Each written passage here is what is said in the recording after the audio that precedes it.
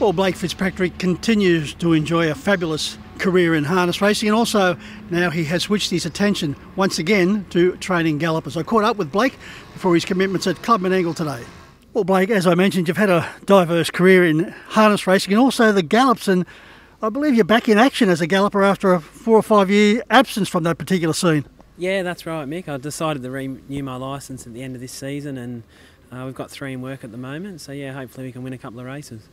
Blake, how do you find that? Because you're a hands-on man as far as training harness horses are concerned. Then with the gallopers, you're putting on a jockey and you just don't get that same feel. Does that frustrate you at times? It's an unusual feeling, definitely race day legging someone else on, but um, something I have to get used to, obviously. But yeah, as far as the breed, they're totally different and take totally different types of work. But yeah, it's something we enjoy.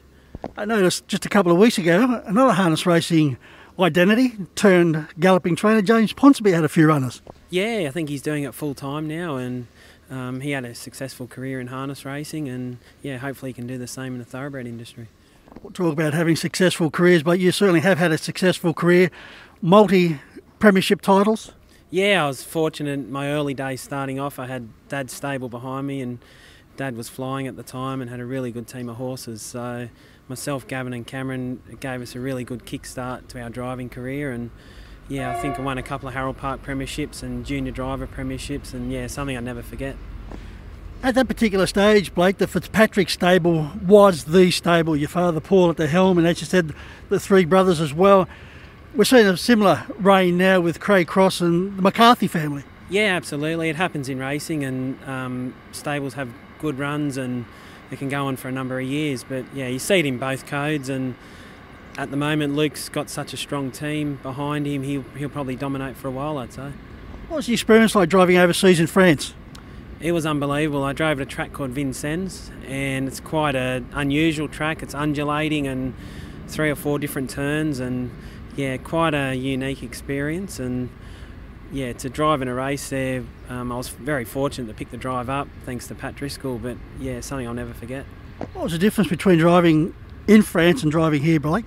Uh, it's definitely more truly run in France. They race over longer distances, but they go flat out the whole way. It's a real staying test and yeah, it's definitely they race in the shorter shorter sulkies, similar to America, and different, completely different the way they train and drive in France.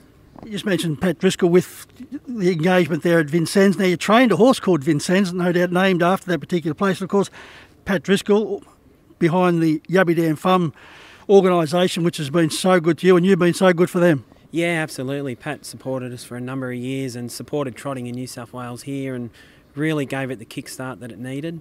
Uh, Pat's revolutionised the breeding in the trotting industry and he's imported a number of French bred stallions and they've really improved our breed and I think you'll see the benefits from it in the next four, five, ten years. So.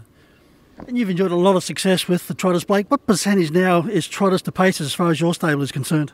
Oh, the trotters are getting up there. We've got at least a third of our stables trotters, maybe more. So we really enjoy the young ones, and uh, we've had some really good seasons with our young trotters, and hope they can progress progress through through the grades. Let's see how some of those trotters may go on Saturday night, Blake. But before we get to that particular event, the Group Two Franco trotters in the third event, you've got number ten. We salute you. One three stars go in good style and hasn't had much luck go his way since. No, he hasn't, Mick. He's been racing well, but without luck, as you said. So drawn poorly again on Saturday night, but if he can get the right trip, he'll definitely be finishing off. You're offside with someone because you've got the outside gate again in race five with a rock and roll swinger.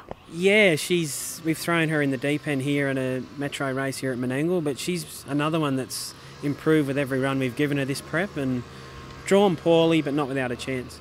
Let's go over to race six now for the uh, Trotters, Blake. And you've got more shades of gold, six stars from behind the strand for a win and five placings. Yeah, it's definitely his ideal conditions, and the horse is really consistent. Uh, I can see him running a really good race Saturday. He flies the stands and probably be the leader at, at some point. He'll take a lot of running down. Now, Adele has, certainly has got plenty of talent, but the stand start, how do you see that, Blake? Three starts for a win and two unplaced efforts. Yeah, it's a little bit unknown. She's a little bit hit or miss. I think she's a mare with a lot of talent and will go a long way. If she steps away, she's probably the horse to beat, but yeah, it'll be heart in your mouth for the first 100 metres. It could be a bit messy there with so many horses on the front line. Be very congested and yeah, which isn't ideal, but we've given her a lot of practice at home and the way she's been at home, I'm confident she will step. Peter Hansen's got Mac Da Vinci going extremely well. Good effort here again last week behind Perfect Stride. Yeah, he's a smart three-year-old. He's had a long year. He's been all over the country, but he's racing probably better than ever. So it's a credit to Peter and the horse. And in another good three-year-old race, he's still a definite chance from the draw. The Blake Fitzpatrick special. Uh, I'll stick with Adele. She's pretty smart, so stick with her. Good luck, Blake, and thanks for your time on Club Menangle TV. Thank you.